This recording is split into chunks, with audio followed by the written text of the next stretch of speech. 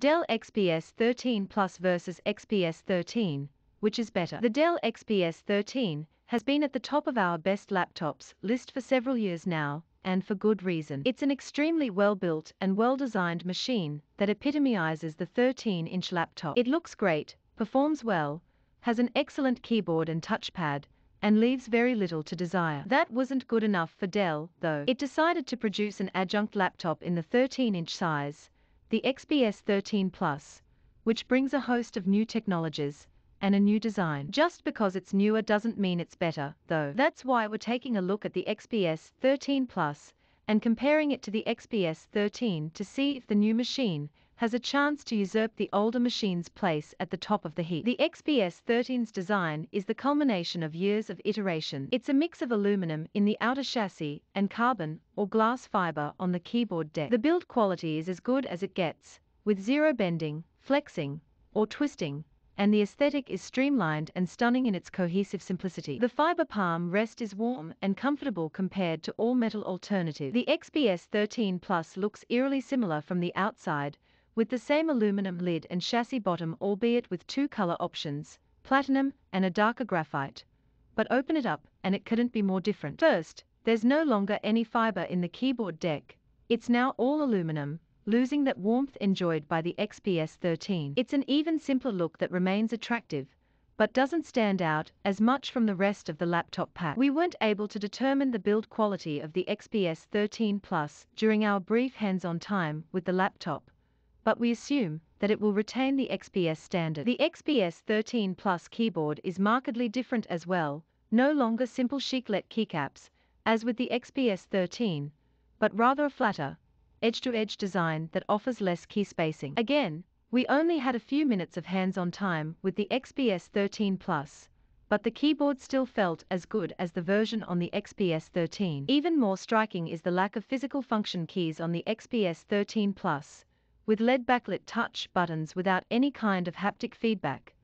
It's a strange choice that we found lacked the kind of responsiveness that would have made them more comfortable to use. We're not sure that the touch keys improve over the physical keys on the XPS 13, and it seems to us that Dell is emulating Apple's Touch Bar that was abandoned on the most recent MacBook. The touchpad is also brand new and entirely different, disappearing entirely and incorporating a haptic mechanism that we found a bit clunky in its initial version. Whether it's better than the XPS 13's physical touchpad will come down to how well Dell can refine the haptic version before release. Overall, the keyboard and touchpad combine to give the interior of the XPS 13 Plus a much different and more minimalist design. Whether it's better or not comes down to personal taste. The XPS 13 always had limited connectivity, with just two USB-C ports with Thunderbolt 4 support, a 3.5mm audio jack, and a microSD card reader. The XPS 13 Plus has even less, with the likely controversial decision to remove the audio jack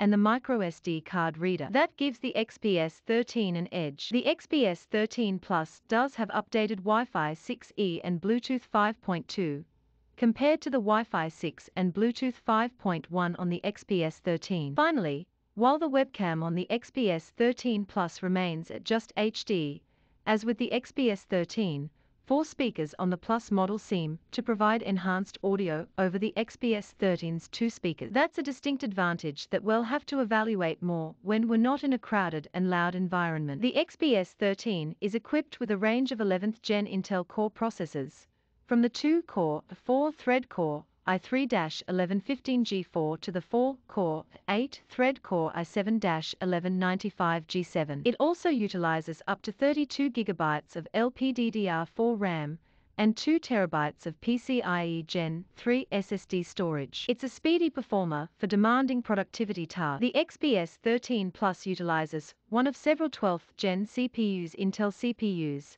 from the Core i5-1240P up to the Core i7-1280P. These are 28-watt chips compared to the 15-watt processors in the XPS 13, and they use a completely new hybrid architecture built around performance and efficiency core. Dell also improved airflow in the XPS 13 Plus, up to 55%, meaning that the new processors should have a higher performance ceiling. Finally, the XPS 13 Plus can be configured with up to 64 GB of faster LPDDR5 RAM and up to 8 terabytes of PCIe Gen 4 SSD storage. We haven't had a chance to test performance, of course, but we're going to go ahead and assume that the XPS 13 Plus will be much faster than the XPS 13. Of course, the XPS 13 will be refreshed, it's not going away, with likely the same components, and so once that happens the performance will probably be similar between the two models. Other than dropping the full HD plus IPS touch option,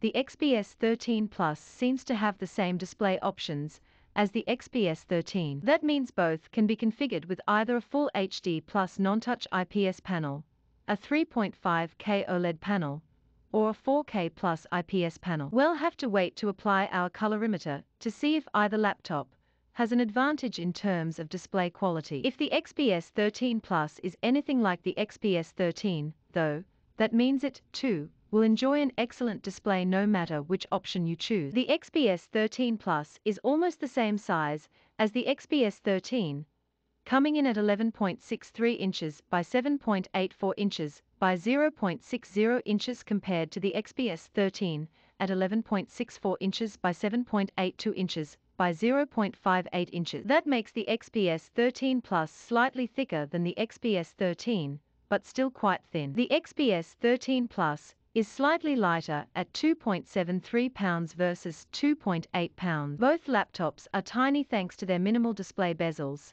and both will slip into a backpack and be barely noticeable. While the XPS 13 Plus has a slightly larger battery at 55 watt-hours compared to 52 watt-hours in the XPS 13, we can't comment much on potential battery life. Intel's 12th gen CPUs are expected to be more efficient and provide better battery life, but of course, that remains to be seen. We don't have complete pricing information on the XPS 13 Plus, but we know that it will start at $1,099 for a Core i5, 8 GB of RAM, 256 GB of SSD storage, and a full HD plus non-touch display. That compares to the XPS 13 at $950 for a Core i3, 8 GB of RAM, a 256 GB SSD, and a full HD plus non-touch display. The XPS 13 Plus will likely be slightly more expensive than the XPS 13, even after the latter receives its refresh later in 2022. Which is the better laptop? That's hard to say at the moment, given that we haven't had a chance to go in depth on the XPS 13 Plus. Most likely, the choice between the two will come down to whether you want the haptic touchpad and touch function keys and like the metal palm rest, or whether the XPS 13's more traditional design appeals to you. And, of course, we don't know what the XPS 13 will look like when it's updated. There's still time to make a decision, though, since Dell has yet to announce a release date for the XPS 13 Plus, and that's likely to be several months away.